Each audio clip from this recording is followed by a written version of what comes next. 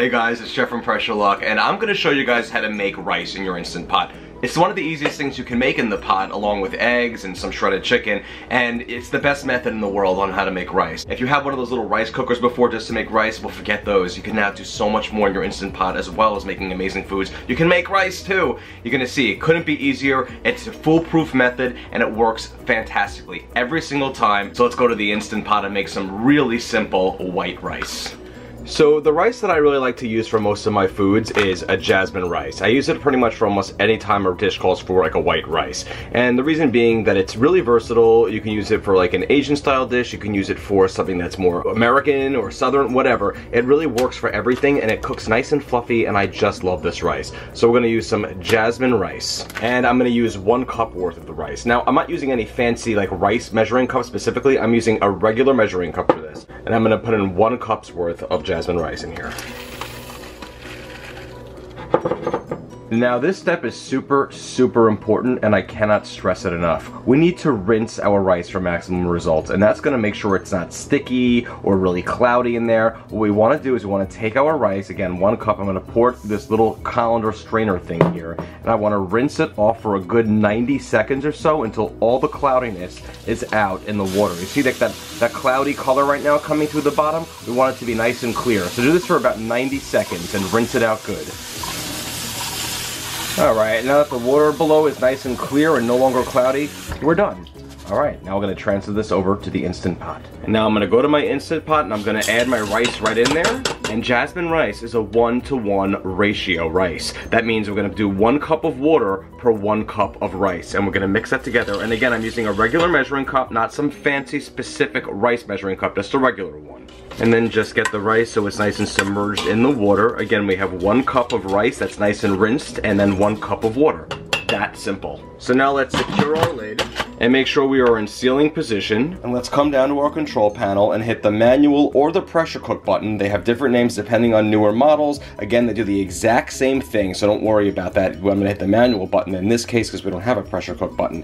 By the way, this button that says pressure, it just adjusts between low pressure and high pressure, but pretty much everything is always cooked at high pressure. We only wanna go for three minutes, guys, just three minutes. After 10 seconds of letting it sit there, it's gonna hit on.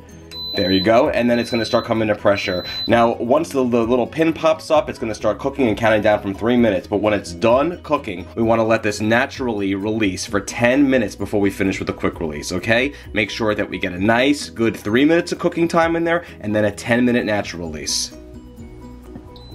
Alright, so now that those three minutes of cooking time are finished, we're going to now allow a 10 minute natural release. That means we're going to wait until this counts up to 10, and that means 10 minutes have elapsed, and then we're going to follow that up with a quick release. And then we're going to follow that up with a quick release. Alright, so 10 minutes of a natural release just passed, so we're going to finish that off now with a quick release. And you're to see there's going to be very little steam that's even going to come out at this point because so much of it is already released naturally and the pin drops, so let's take the lid off. And there is our rice. Alright, you see how beautiful that is? Now I'm just gonna take a fork, I'm just gonna fluff it up, and look at this guys. Absolutely perfect rice, not sticking to the pot at all. This rice is absolutely perfect. Alright, so now I'm just gonna put this in a bowl, and now it's ready to eat. And there's our perfect jasmine rice transferred to a lovely bowl that looks like it's reminiscent of something lotus nature. Now we can use either chopsticks to eat this, because if you want to have it Asian style, that's great. Or you can just use a fork if you want to do it any other style and pour anything over it, whatever you want. Any Italian dish, any American dish, eat it on its own, or if you want to toss it up with some sort of Asian dish. By the way, what we just did right now, this step is the first step to my hibachi rice recipe. Alright, let's try it out. Alright, and here's some rice to try out. Look at how perfectly it's going to pick up with my chopsticks six. Look at that. So easy. Mmm. Now that is some cooked to perfection rice right there. Fantastic. This method works like a charm every single time. Guys, for more tips and great recipes, go to pressureluckcooking.com, hover over any photo and any recipe. You'll see a little save button appear in the left corner. You can pin it to any Pinterest board that way.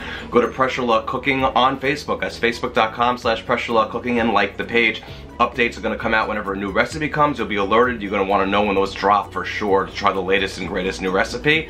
And uh, um, of course, follow me on Twitter, on Instagram, on YouTube. Subscribe. That's pressure luck right there. And I will never make rice any other way again than in the Instant Pot. Look at it. Perfection every single time. You know, I'm on this like white on rice, if you get my drift. Okay? All right.